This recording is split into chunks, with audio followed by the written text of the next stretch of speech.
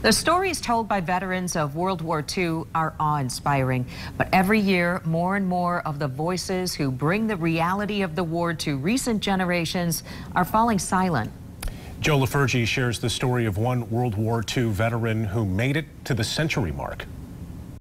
How you doing, John? Pretty good, pretty good. At 100 years old, John Sinke still has a clear memory of the beaches at Normandy in June of 1944.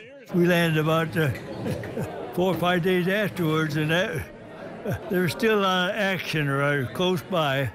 I was with a tank corps. There was very few of them uh, come back from that. We heard a lot of, about everybody getting wiped out, you know, and everything, and uh, we were just hoping we could make it. While the first wave who hit the beach did their jobs, there was still plenty of danger ahead. My sergeant, he was he was standing right by me when he got killed. A shell hit a hit a uh, hit a building right next to us. A piece of shrapnel come right down through his helmet, and uh, and he fell right in my arms. And there was six of us, and uh, there was only two of us come back. Uh, I'm just lucky. Sinke is one of a disappearing breed of storytellers who live the reality from tragedy to triumph of World War II. We sat down with Sinke during another milestone in his life, his surprise 100th birthday party. What the hell are you doing here? Huh? I couldn't miss this. This is all for you, to honor you, Dad. To honor you for your 100th birthday. By any measure, reaching the century mark is an amazing accomplishment.